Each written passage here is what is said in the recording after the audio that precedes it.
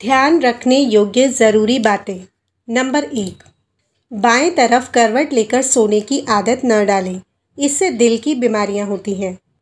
Number दो, सुबह brush करते समय कोलगेट में थोड़ा सा बेकिंग पाउडर मिला लें। ऐसा करने से पीले और गंदे दांत साफ़ हो जाते हैं। ऐसा हफ़्ते में दो से तीन बार ही करें। नंबर तीन, खाना खाने के तुरंत बाद चाय का सेवन न करें। ये आपके खाने को अच्छे से पचने नहीं देती है। नंबर चार। अदरक का रस गुनगुना करके जोड़ों पर लगाने से जोड़ों का दर्द ठीक हो जाता है। नंबर पाँच। कच्चे प्याज का रोज़ाना सेवन करने से पेट के कीड़े मर जाते हैं। नंबर छः। गर्म पानी से सिर धोने से बालों की जड़ें कमज़ोर हो जाती हैं और बाल झड़ने की समस्या बढ़ जाती है, इसलिए बालों को गर्म पानी से न धोएँ। नंबर सात। गन्ने के रस में थोड़ा सा अदरक मिलाकर पीने से गर्मी का एहसास कम होता है। नंबर आठ। पानी को उबाल कर पीने से बुढ़ापा जल्दी नहीं आता और शरीर बीमारियों से बचा रहता है। नंबर नौ।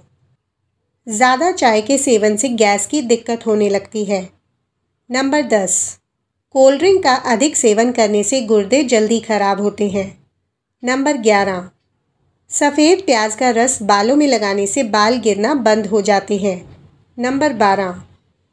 खाने के साथ प्याज खाने से खून पतला होता है।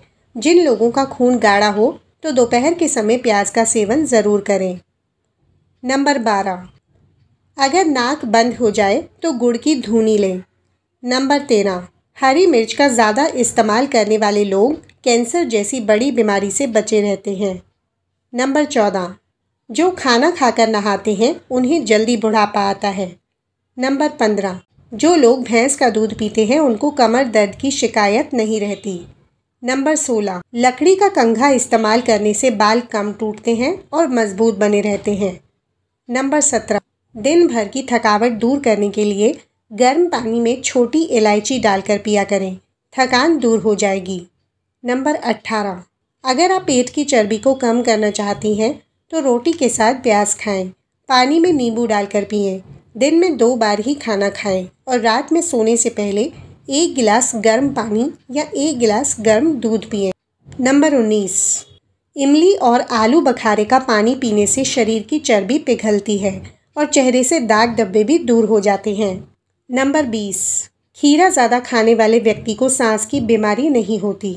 नंबर इक्कीस, इमली खाने से दिमाग को ताकत मिलती है। नंबर बाईस, आपको शरीर में कमज़ोरी महसूस होती है तो सलाद में चुकंदर ज़रूर खाएँ। नंबर तेईस। सेब खाने के फ़ौर बाद पानी पीने से गले का कैंसर हो सकता है। नंबर चौबीस। किशमिश खाने से खांसी नहीं होती है। नंबर पच्चीस।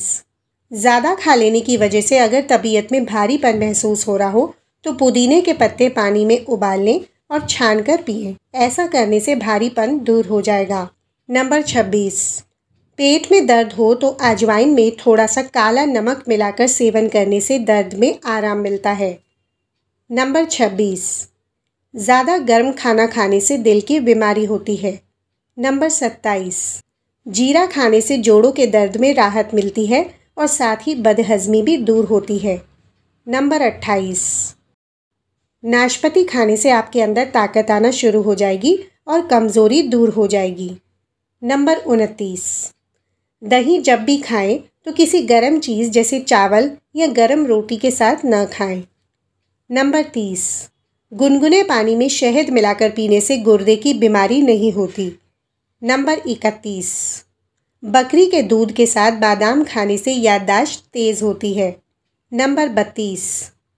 अजवाइन को सूती कपड़े में बांधकर सूंघें, ऐसा करने से सिर दर्द में आराम मिलता है। नंबर तैंतीस।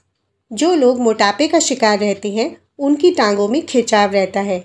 ऐसे लोगों को चावल खाने से परहेज़ करना चाहिए, क्योंकि चावल इनके लिए हानिकारक हो सकते हैं। नंबर चौंतीस।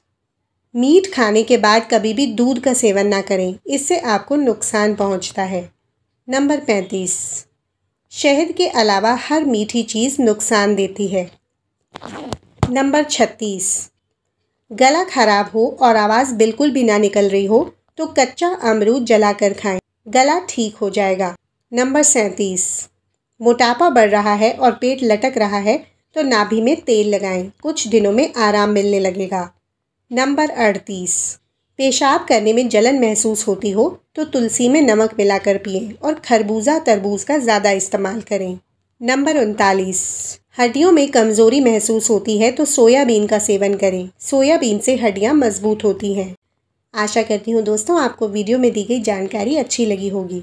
वीडियो अच्छा लगा है तो वीडियो को लाइक और शेयर ज़रूर करें और ऐसे ही यूज़फुल टिप्स के लिए हमारे चैनल को सब्सक्राइब करना ना भूलें। वीडियो देखने के लिए धन्यवाद।